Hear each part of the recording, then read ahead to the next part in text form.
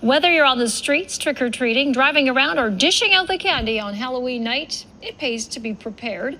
Joining us with more on how to stay safe on Tuesday night is Ian Tait, Communications Director for the Ambulance Paramedics of BC. Thanks for joining us. Good morning. So, it's a fun time of year, but it can also be a bit frightful out there. What are some safety tips once it gets dark out? Yeah, so kind of as one of our ongoing messages for public safety this time of year, and especially surrounding community healthcare. It's um, Halloween tips for us is all about lighting and being seen out there. Um, some of the best tips that I've seen is just trying to integrate lighting into your child's costume, whether that's um, part of the mask, a lightsaber, a flashlight, or even any type of uh, reflective gear is, is always a really good idea. The second yeah. thing that's always really good from a parent standpoint is to carry a, an empty backpack to help load the candy as you go out. So most most parents know after about half an hour, the kids are dragging you know a bag that's about as heavy as a bowling ball. So being able to unload uh, every half an hour with the parents is is really helpful as well. Well, that is a good tip. Yes, I see some parents with those carts out there, and they're also hiding some yeah. other tricks and treats. So, you know. Also a good tip. Yeah. All right. Um, so for parents, what also do they need to know to like, I guess, make sure their kids stay safe? Anything they should, conversations they should be having? Yeah, and, and, and like I said, at the end of the day, it, whether you're in a car or whether you're walking through children, is just to slow down and make sure you're seen.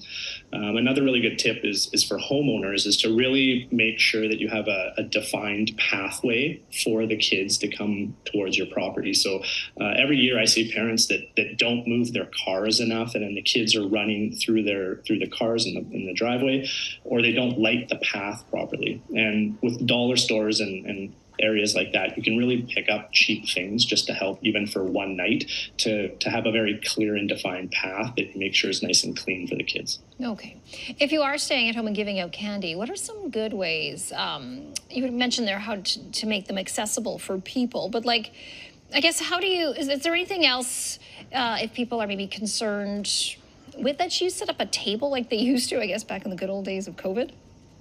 Yeah, so we, we used to see the um, the candy slides with the mm-hmm. tubes and stuff like that. I don't think that's really big anymore, but the table outside is always a good idea. I, I think the self serve option is really handy and it's really easy so that you can also go out trick or treating with your kids.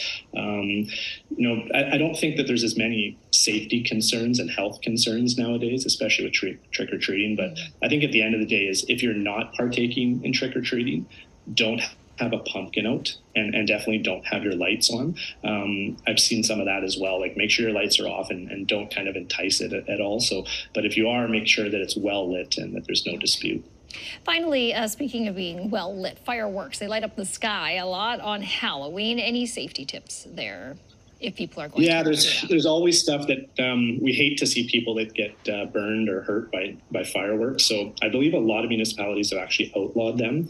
A lot of the stuff that we're concerned about is not only just bringing pets inside but if you are going to use that stuff make sure it's in an open area and that there are some adults there to make sure that there is some type of safety procedure. So um, a lot of the stuff that i've seen in my career is when people light them in their hand and then they completely miscalculate the length of the fuse. So having it on the ground with one of those extended lighters is probably a safer safer bet. Okay, that is a very good tip. All right, thank you so much, Ian, for joining us. That's Ian Tait uh, with some safety tips for safe Halloweening. You have a great Halloween. You as well.